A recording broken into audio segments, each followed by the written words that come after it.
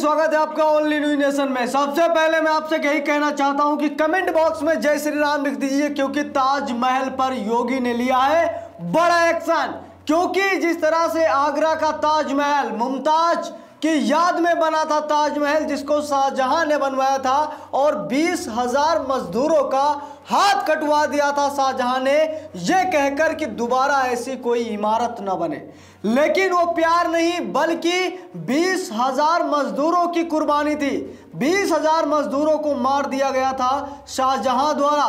लेकिन लेकिन आज योगी आदित्यनाथ का ऐलान ज़रूर सराहनीय है, क्योंकि ताजमहल कभी प्यार का महल नहीं हो सकता है। और उस पर जब चला योगी का बुलटोजर तो शाहजहां भी दौड़े चले आए। पूरी वीडियो में आपको दिखाऊँगा। बस अनुरोध है, कमेंट बॉक्स में जय श्री राम ज़रूर लिखिए। क्योंकि बहुत दिन से हमें इंतज़ार था कि कब ताजमहल में लहराया जाएगा भगवा। हम बहुत दिन से चिंतित थे और हर बात पे नज़र गड़ाए हुए थे, हर खबर पे नज़र गड़ाए हुए थे कि हमें कब वो खबर मिलेगी जिसमें आगरा के ताजमहल पे भगवा लहराया जाएगा।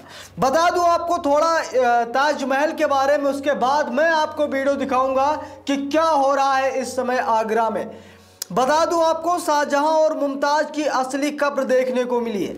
ऐसे में हम आज ताज के निर्माण से जुड़ी कुछ सच्चाइयों से पर्दा उठाने जा रहे हैं। ऐसी अफवाह है कि शाहजहां ताज बनवाने वाले बीस हज़ार मजदूरों के हाथ कटवा दिए थे। इसके पीछे वजह बताई जा रही है कि शाहजहां चाहता था कि दोबारा ऐसा ताज कभी ना बने। लेकिन आज जब वहाँ पर भगवा लहराया गया है सबसे पहले हम आपको एक तस्वीर दिखाना चाहते हैं। ये तस्वीर देखिए, उसके बाद हम आपको वीडियो दिखाएँगे कि इस समय क्या हो रहा ताजमहल में। आपकी स्क्रीन पे एक तस्वीर चल रही है। पहले ये तस्वीर देखिए, ये ताजमहल की तस्वीर है, जहाँ पर कुछ लोगों ने जय श्री राम के नारे लगाए हैं और ये भगवा झंडा लहराए थे। बता दूँ, ताजमहल परिसर में भगवा झंडा लहराए इसके साथ जय श्री राम जय श्री राम के नारे भी लगाए गए। घटना आज की है जब हिंदू युवा वाहिनी के कार्यकर्ताओं ने ताजमहल परिसर में भगवा ध्वज फहराकर जय श्री राम के नारे लगाए। इस पूरी घटना का एक वीडियो सोशल मीडिया पर बहुत तेज से वायरल हो रहा है। इस घटना के वीडियो सामने आने के बाद हड़कंप मच गया है। मामले की जानकारी मिलते ही सुरक्षा में तैनात सीआरएसएफ के जवानों ने हिंदू युवा वाहिनी के चार कार्यकर्ताओं को पकड़कर पुलिस के हवाले भी कर दिया गया है। इस मामले में ताजगंज पुलिस ने धार्मिक भावनाओं को ठेस पहुँचाने, उन्माद भड़काने के आरोप में चारों कार्यकर्ताओं के खिलाफ मुकदमा भी दर्ज किया गया है, लेकिन वहीं पर जब योगी ने ऐलान किया है तो प्रशासन ने कुछ ऐसा किया जिसे सुनकर आप हैरान हो जाएँगे।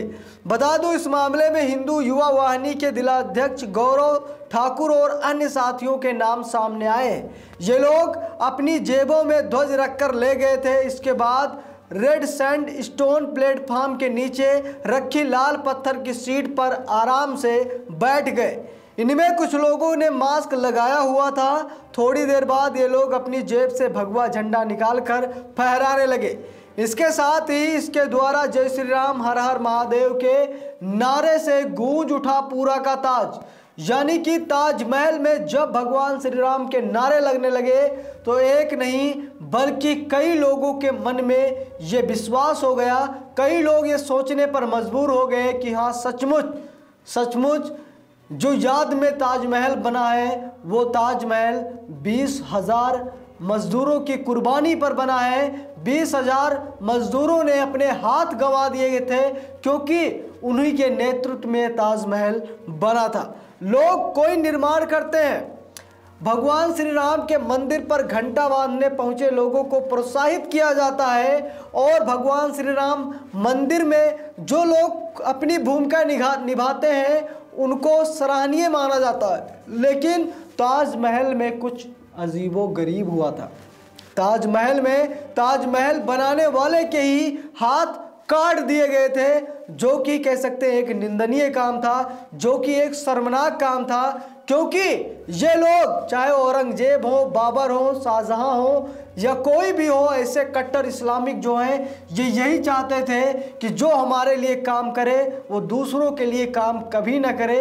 और मुमताज़ की याद में जो ये ताजमहल खड़ा हुआ था, ये शाहजहाँ की मेहनत नहीं, बल्कि बीस हज़ार मजदूरों की मेहनत थी, जिसको शाहजहाँ ने कत्लेआम करा दिया, जिसको शाहजहाँ ने हाथ कटवा दिए। यानी कि स्पष्ट है कि हाथ कट गया तो समझिए उनकी पूरी ज़िंदगी चली गई। जिसके हाथ नहीं है, उसकी ज़िंदगी बर्बाद हो जाती है, मौत के समान होती है। इसीलिए हम यही कहते हैं कि उन लोग को जीते जी मार दिया गया था शाहजहाँ द्वारा।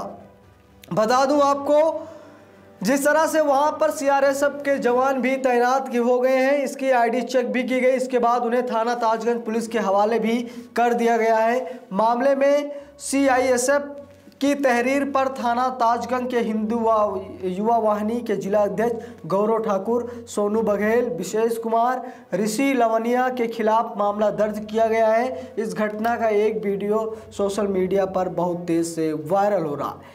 यानी कि स्पष्ट है कि, स्पष्ट है कि जल्द ही निर्णय लेने वाला है और आपने योगी आदित्यनाथ के कई बयान ऐसे सुने थे, जिसमें योगी आदित्यनाथ ने ताजमहल पर भी कहा था।